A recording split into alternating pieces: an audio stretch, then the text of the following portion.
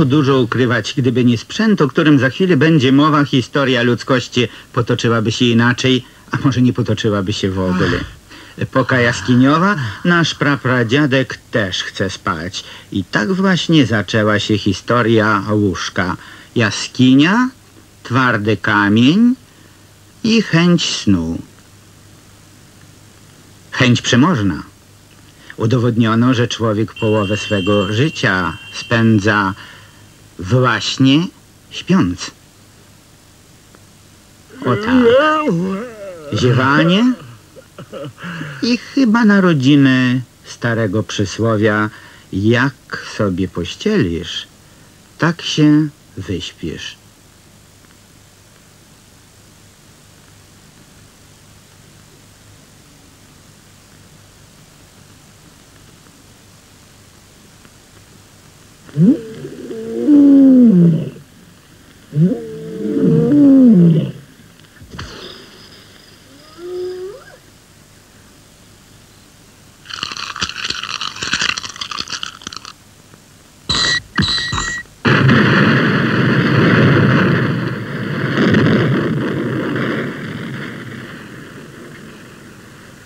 Zasnął.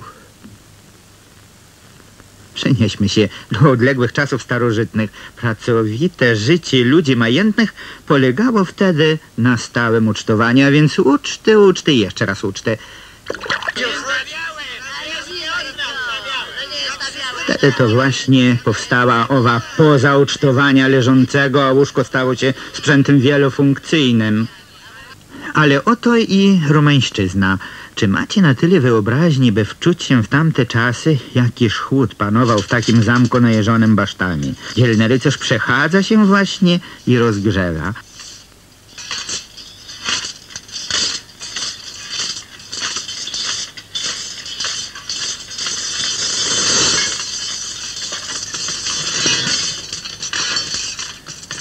Łoże w tym czasie jest jedynym ciepłym miejscem w kamiennym zamku. Tworzy ono jakby odrębne wnętrze, przykryte baldachimem i osłonięte ciężkimi kotarami, które chroniły je nie tylko od zimna, lecz również od ludzkiej ciekawości. Posłani moszczono miękkimi tkaninami i futrami. Ale cóż to, wróg sztormuje zamek? Giermek zawiadamia swego pana i władcy o zaistniałej sytuacji. O, nieładnie, a gdzież obowiązek? Powiada pan, że nie masz siły takiej, która wyrwać by go mogła z łóżkowych pieleszy? Jednak tak.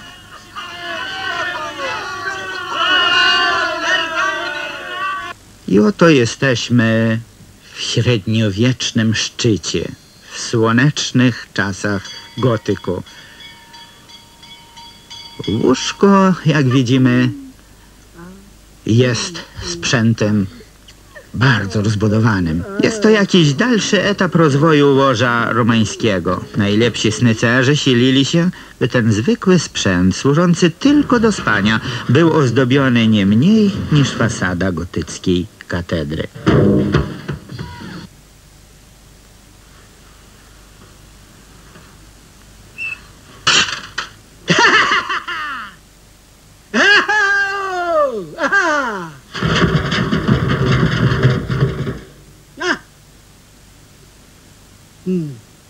Czasy renesansu? A, to znów co innego. Łóżko staje się zupełnie odmienne. Zamiast baldachimu jest niebo, a podpory architektoniczne, o, one wywołają u tego pana zupełnie konkretne sny. Tak, bywa i tak, że wyobraźnia ożywia architekturę. O, proszę, proszę.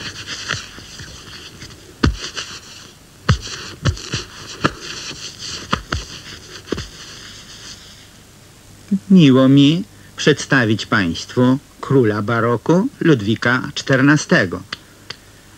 Jego łoże stało się ośrodkiem poczynań urbanistycznych, jego sypialnia miejscem najważniejszym w całym pałacu.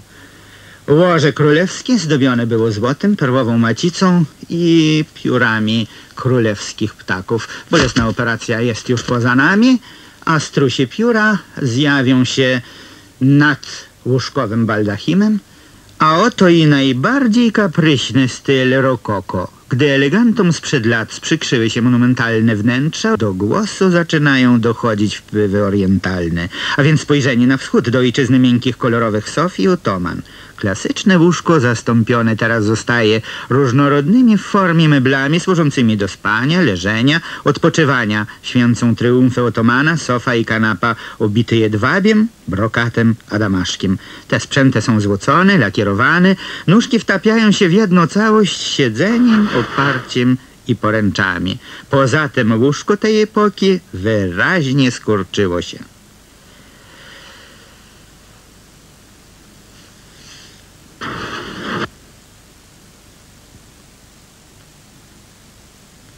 Istnieją dwie możliwości, albo zwiększyć e, sprzęty, albo też usiłować zmniejszyć samego siebie. Pir, cudowna epoka, epoka triumfalnych łuków. O, widzimy Boga wojny, sam Napoleon. Bohaterowie też bywają zmęczeni. Sir, niech pan się nie śpieszy, proszę spojrzeć do byle jakiej encyklopedii. Nie warto kąpień, a tam właśnie zachowało się łóżko cesarskie. Yy, Jest pan zmęczony. Po cóż nad mapą batalii ślęczyć, raczej położyć się, zwłaszcza, że łóżko jest w pańskim, cesarskim stylu, a gdy pan spojrzy do góry, zobaczy pan bojowy, wojskowy namiot. Oto żona bankiera paryskiego, pani Recamier, udawała zapewne rzymską cesarzową. A jeśli tak, to dlaczego cesarz Napoleon nie miałby udawać pani Recamier? Secesja, zły sen? Dużo roślin przystylizowanych? Pan, który ma złe sny, sny o motylach, o smokach, o rajskich ptakach.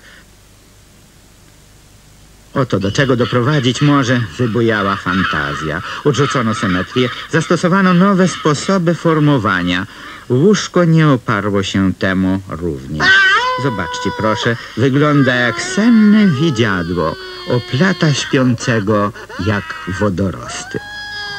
Tak, to jedyne wyjście z sytuacji, a później zwyczajna ucieczka.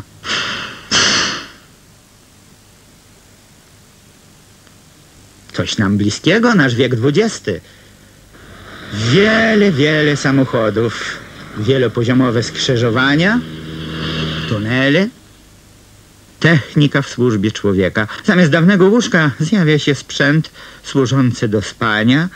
Skonstruowano go z nowych tworzyw powołanych do życia przez współczesną chemię. Ale cóż to, męczy pana bezsenność? Czyżby natłok wrażeń?